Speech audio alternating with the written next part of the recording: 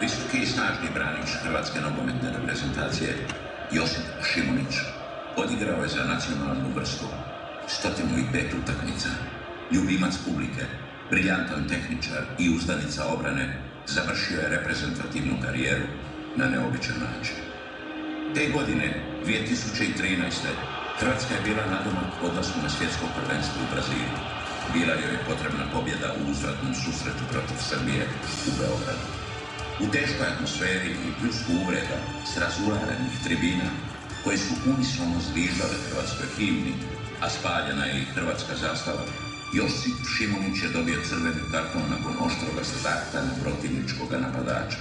Pet minuta prije tu situaciju oni su dobili crveni karton, imali smo igrač više, bod nam je bilo samo bod i 100% smo drugi. Iako je bilo još dvije utakmice, mi smo ti bili, nažalost, neki grč prije toga i tu utakmicu, 80. prvi, drugi minut, ja sam morao napraviti crveni karton zbog toga da ne bi slučajno došao taj igrač po 100% šanse ispred golmana, išao bi sam na gol, na naš, hvala Bogu nije se odvijerio dečko, to je najbitnije. Koliko te god nekad fali neko pojedinč kao kako dobro igraš, moraš nekad iz žrtva se zamočati. E, ne nekad, nego uvijek. Kad sam išao sa terenu, 60.000 ljudi te žviždaju, to je meni bilo kompliment. Zašto sam ja napravio ono za moj mučak? Utakmica je završila bez odluke, pa je Hrvatska morala u doigravanje s Islandom. U drugoj zagrebačkoj utakmici s Islandom, koja je završila hrvatskim triumfom, nastupio je i Josip Šimunić. Zabili smo 1-0, 30 i ne znam koji minut, Manđo dobi crveni karton i odmah misli se šta je ovo više. Tu smo upravo pokazali nakon isključenja Manđe da smo prava moć. Mi smo pokazali strast, ne samo na terenu, nego van terena. Mi smo opet pokazali da smo zajedno, da smo jedan, da i navijači, i igrači, i stožeri, svi, mi smo jedan. Igra se za Hrvatsku, igra se za plazmu svjetskog prvenstva. Sa srećom, mi smo pobjedili 2-0 i uspjeli na svjetsko prvenstvo u Brazilu. Kad je suda svirao kraj, kao da smo, ja sam se osobno osjećao kao da sam 30 kila. Slavili smo sa navijačima, zahvalili smo se navijačima i onda sam se ja sjetio kao, ajde, volio bi ja snimao ko u Njemačku, više puta u Njemačku, daj mi mikrofon, hoću ja sa navijačima slaviti. Razdragan pobjedom, koja je Hrvatsku još jednom izvela na svjetsko nogometno prvenstvo, Šimunić je osjetio potrebu da radost podijeli s navijačima. Izrekao je stari hrvatski pozdrav za dom.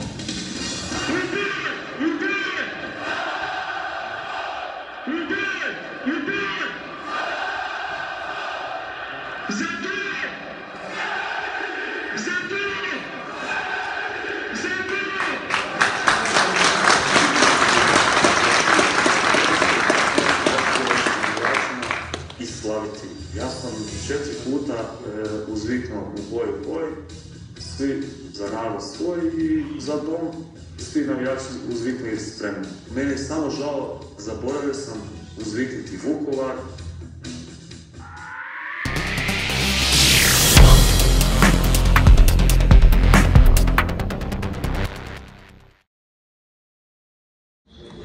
Ekipa našeg portala večeras se ovdje u Širokom brijegu u hotelu Park nalazi u jednom iznimno ugodnom društvu s nama gospodin Josip Šimunić i gospodin Jakov Sedlar. Glavna uloga kako je večeras na predstavljanju filma dokumentarca o Josipu Šimuniću, istinskoj legendi hrvatskog reprezentativnog i klubskog nogometa kazao voditelj i gospodin Jakov Sedlar, ne trebamo ga također posebno predstavljati, pogledni, poznati hrvatski redatelj, autor ovoga filma i evo prve reakcije nakon što je prošao prvi od dva filma, prvi od dva dana predstavljanja vašeg filma u Hercegovini, bili ste u Ljubuškom, večeras u Širokom brijegu, kako ste zadovoljni? Ma super sam zadovoljan, uvijek kad dođem ovdje u Hercegovinu, ovaj, lijepo nam je, e, bilo je dosta ljudi i nadam se ovaj, da će što više ovaj, ljudi doći sutra i što više DFA da, će se prodati i što više novaca skupiti e, da bi mi e, svi pomogli ovaj, ginekološki odjel u, ovaj, u Mostaru. Da, jer cijela akcija namijenjena kao pomoć za ginekološki odjel u Mostaru. E, gospodin Sedlar već dosta puta dolazio u Hercegovinu, u Široki brijeg, dovoljno je reći film Gospa, ali evo večeras govorimo o ovom najnovijem filmu kojeg je mogla vidjeti Širok briješka prije toga publika u Ljubuškom. Kako ste vi zadovoljni odzivom? Pa bilo je lijepo, odziv bio je zaista dobar i evo, ovdje uvijek lijepo. Uvijek lijepo, ljudi su topli, ljudi su dragi, prijateljski su e, prihvatili ovaj film, svidio im se e, jer je Josipova priča takva da ja mislim da čovjek koji ima duše i srca da ne može to ne voljeti. Tako da eto, drago mi da je bilo ovako kao, kao što je danas bilo popodne i večeras i nadam se da će tako biti sutra u Međugorju i Mostaru. Evo, Josip, ne znam, jeste li razmišljali nekada davno kroz svoju igračku karijeru da bi se na koncu vaše igračke karijere, danas ste trener, pomoćnik izbornik Ante Čačića u stožeru Hrvatske nogometne reprezentacije, razmišljali da bi mogli snimiti jedan film o sebi, o svojoj karijeri? Nisam ovaj, nikad e, o, tome razmišljao, međutim e, upoznao sam gospodin e, Sedlara, malo smo popričali, neki e, njegovi prijatelji su nešto e, njega pitali za mene, pa tako smo mi popričali i došao na takvu, na tu ideju da napravimo film. imam isto još jedan prijatelj koji je napisao knjigu i dugo smo pričali, ja sam ga pitao zašto, kako i onda on meni ispričao da ovaj, ako ti ne ispričaš svoje priče, neko će ga drugo ispričati i međutim kroz to iskustvo što sam imao, i tu kaznu i sve što se dogodilo, e, vidio sam da ljudi su e, meni stavili neki, neki pečat na mene, pisali su puno stvari što nije, što, što su neistine. I tako smo mi odlučili, ovaj, uz pomoć gospodin Sedlar, sam jako zafaljen, e, napraviti i ispričati našu priču.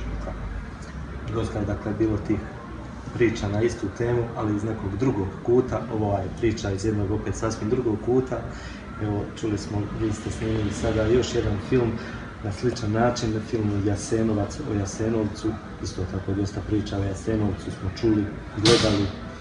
Ova je jedna drugačija, u Zagrebu je u ponedjeljak, čini mi se ta prezentacija.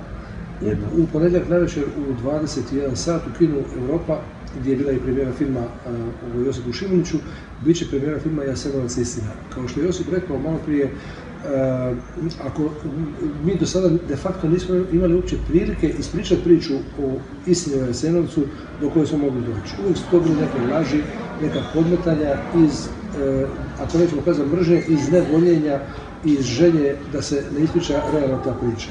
Nakon 12 godina dosta upravnog rada i nekih novih podataka do koji su došli dokumenta, mi, smo izašli najprije u Tel Avivu pred, pred svjetsku javnost, nakon toga smo imali nekoliko projekcija po Njemačkoj, Americi i Kanadi, a ovo je sada hrvatska premijera, znači u u 21 sat, nakon toga će ići po hrvatskom film i želja je da, da jednostavno samo da istina izađe na vidjelo.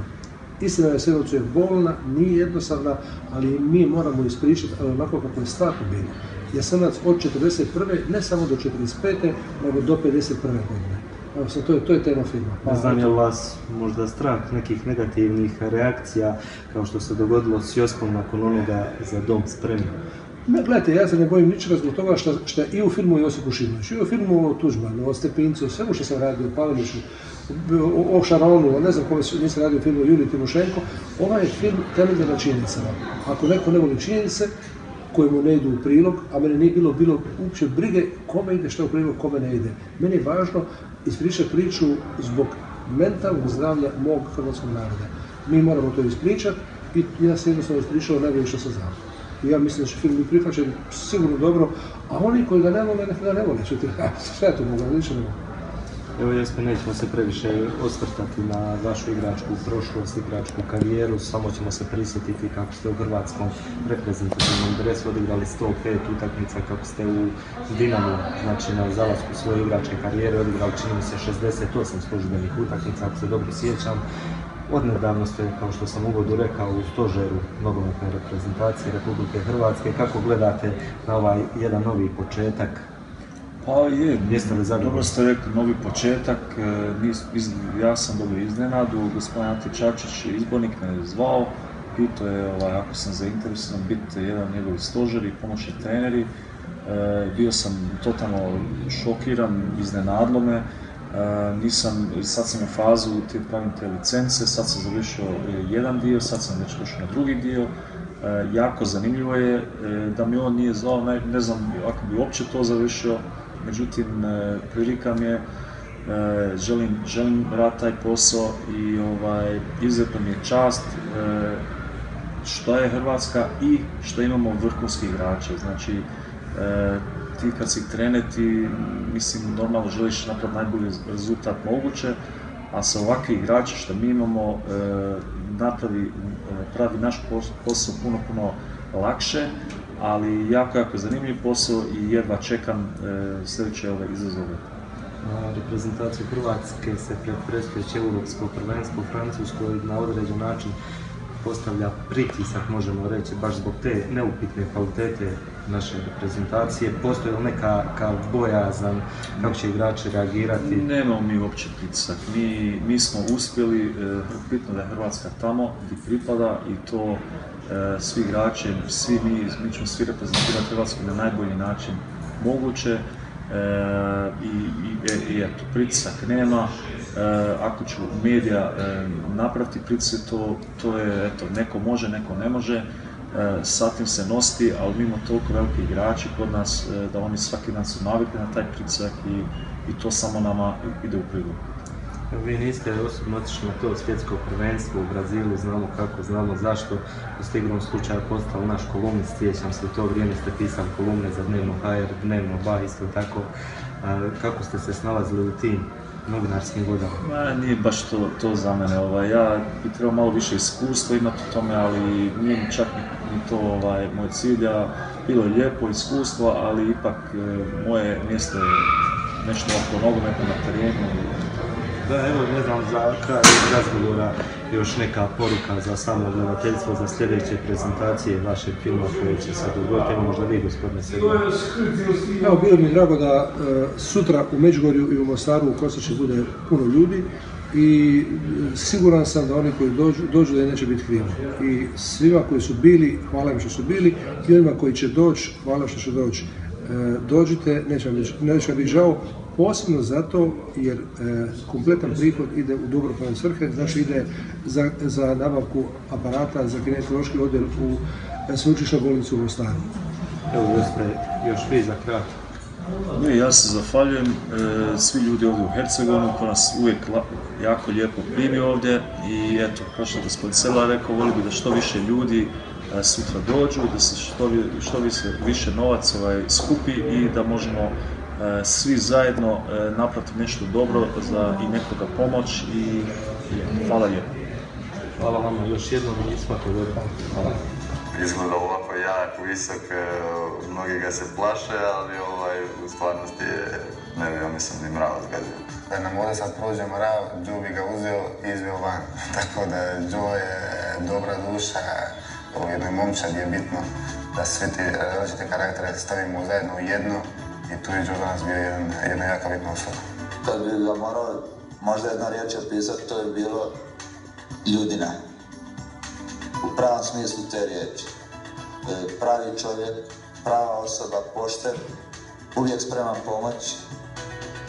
I moj dojam Joe je da nikad ne bi napravio ništa nekome nažao ili pogotovo namjerno.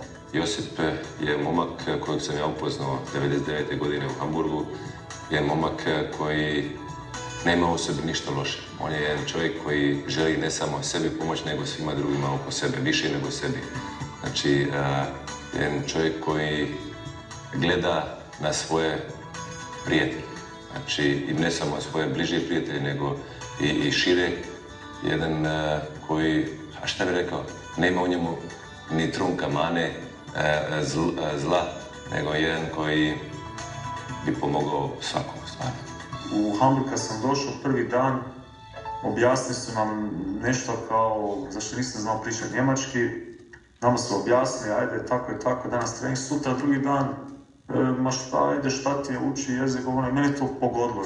E, pogodilo mi je zašto, kad neko dođe nov, treba se pomoć, mislim, to je, neko ima, neko dolazi iz sredine gdje recimo dođe u Njemačku, pa je pao sa, sa Marsa. Mislim, to je skroz drugo i drugi mentalitet i drugo, druga država i sve. I onda sam se ja, e, ja sam se punio da, da kogod ikad došao novi igrač, sam ja u klub, kad god treba pomoć, ja ću pomoć bez obzira ko šta kako ja, to je mene, ja sam se osjećao da je to meni dužnost, zato što znam kako je meni bilo jako teško kad sam ja došao i, i te poteškoće pa sam uvijek htio, htio pomoći. Stvarno poznajem puno, puno igrača, ali tako čovjeka koji je uvijek pozitivan, koji je uvijek dobar, koji je uvijek na dispoziciji, koji je uvijek spreman odraditi trening, koji je uvijek spreman dati sve za Hrvatsku, za prijatelja, za društvo, nažalost danas je takvih malo. Veliki domoljub, sigurno. On je baš pravi patriot, on voli svoju zemlju, voli svoju državu i ima preko sto nastupa za, za hrvatsku reprezentaciju i sigurno je da nije kvalitetan igrač i da nije toliko velik čovjek, sigurno da ne bi toliko napravio.